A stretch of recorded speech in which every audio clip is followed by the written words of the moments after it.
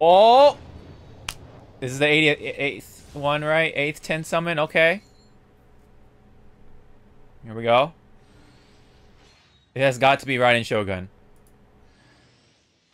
Ah, oh, the flute, dang it.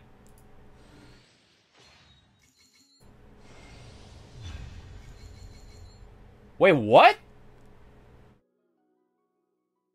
Hold up. Oh, I got Kujou. Was I not on... Was that guaranteed? For the last one, then? Oh, no. Did I miscalculate? Oh, fuck. Wait, really? I thought... Oh, dang. I mean, at least I got Kujou, but... oh, man. Wow. Oh, okay. Oh, wow.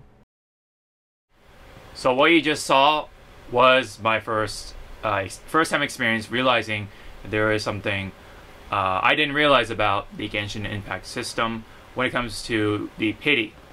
Uh, so this is this video is for people who already know what the pity system is and who have been playing uh, Genshin Impact for for some time. Uh, obviously, maybe for all the whales and stuff like that, um, they already know about this, but I didn't know about it, so there probably is a chance that there are a good handful of people that don't know about the intric uh, intricacies of the pay system for Genshin Impact. I mean, it's still good it's still fair in comparison to other gacha games or gacha RPGs, but uh, this knowledge is still supplemental and beneficial to know uh, when you do these polls.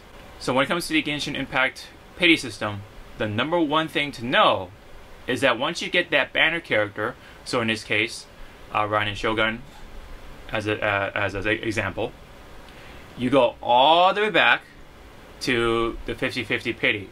So previously I thought uh, the 50-50 pity, uh, when you do get the 5-star character, either it's from the banner or the base roster, you just go uh, into the to the guaranteed pity. That is uh, slightly incorrect. Uh, so let's say I did get the character from the 50-50 pity, and um, in this case, you know, Raiden Shogun. Once you get the banner character, you go actually all the way back to the 50-50 pity or soft pity at zero. So that's how it pretty much works. Uh, what happened to me was that I thought, you know, um, previously I summoned on Yoimiya's banner, and I got Yoimiya, right, from the 50-50 pity. And previously I thought, all right, cool. Uh, now I'm on the guaranteed pity because I went through the 50-50 pity and I got Yoimiya from it. Cool, awesome. So that was in, that was an incorrection on my part, and I thought I was going to be on Guaranteed Pity during uh, Raiden Shogun's banner. And when I when I got Jean, I was like, oh, you know, I was pretty upset. Um, it was kind of kind of upsetting, right? Pretty pretty kind of painful that it wasn't Raiden Shogun. I mean, yeah, I got a five star character and it's Jean, so I shouldn't complain too much. But it wasn't Raiden Shogun, and that was my goal initially. And you know, that was kind of an L on my part because, you know, I made a mistake. But luckily, because I, didn't I didn't get Raiden Shogun at that time, then I'm uh, put into the Guaranteed Pity, and I luckily I had a lot of, um, you know, summons left over, so I worked on that Pity all the way up to, I think, like 80 or something like that, and then activated my Pity, my Guaranteed Pity, and Hard, or Hard Pity, and I was able to get Raiden Shogun for those who wanted to know. Good news, I got Raiden Shogun, so I'm pretty happy. Along the way, I got C4 Kujou Sara, which is pretty cool. So, it's a pretty good lesson to learn here, at least for me anyway, but for those people who are kind of new to, the, to Genshin Impact, uh, this is something you should know about the pity system in Genshin Impact. Uh, but you do you should remember though, the carrying over the pity system in uh, Genshin Impact carries over in a way. So, let's say uh, we we summon on Raiden Shogun's banner, right? And like me, I didn't get Raiden Shogun during the 50-50 pity. And if you do keep summoning, let's say up all the way up to um, 179 summons, because that's because that's the worst case scenario that you get if you don't get the banner character and such, right?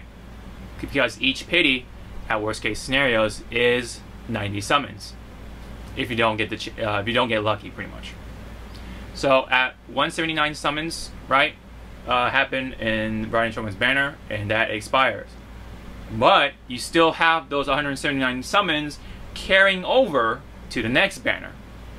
Uh, let's just say Kokomi being the five star character for that banner, right? Hypothetically speaking, you know, I don't know anything about the next banner. Anyways, let's just say it's Kokomi. If Kokomi is the next character and you do that one summon, the 180th summon on that banner, because it does carry over, you are guaranteed to get Kokomi. So that's how it still works. The carry the carryover is still true, and that is still that's what makes it uh, you know slight, slightly more fair um, in comparison to uh, other systems uh, when it comes to gacha games. I mean, get games like uh, Fate Grand Order like I don't know why, but they need to really take note of that. They still don't have any sort of pay system. It's really bad in comparison now. It's it feels archaic, you know, and pay systems like this do still make it fair, but at the same time, it still feels like you know a gacha game. You know, uh, there's still that chance that you don't get uh, the five the, the five star character that you want, but you are guaranteed to get a five star character after these set of summons because it carries over. So that's really nice um, you are guaranteed at some point a five star. So if you play Genshin Impact, you're gonna have a five star in your roster, and it'll it'll grow eventually as you play the, uh, more of the more and more of the game. So. Uh, that's pretty much it. Uh, for those who are familiar with the Genshin Impact system, when it comes to pity, right, there is still the hard pity, there's, there's still the soft pity, and once you get the banner character, it resets you all the way back to um, the 50-50 slash soft pity. So you're back to square one pretty much.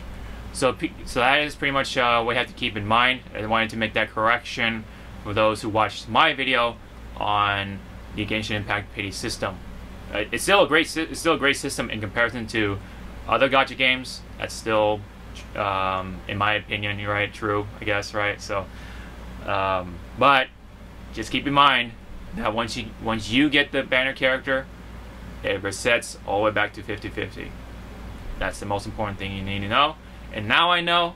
So uh, once I, you know, go into Kokomi's banner, I'm on the 50-50 uh, pity because I got Raiden Shogun uh, sometime um, sometime very very recently. So uh, that is my my um, I guess pity system currently right now. so with uh, Genshin Impact, and then yeah, so Kokomi, I'm probably gonna skip on that banner, but we'll see how Kokomi is and the, the four star characters right. If it's just Thoma, yeah, I don't know. I, I'd rather just save my my gems for someone else if there's someone else cool. Uh, we'll have to see about that. If not, I'll probably roll on the, the weapon banner because I could use a five star weapon. That's cool, you know what I mean? So there, there you go. So, but yeah, it all just depends and stuff like that. I'm gonna save my gems, um, just like anyone else should when it comes to being a free-to-play player or a low low budget player.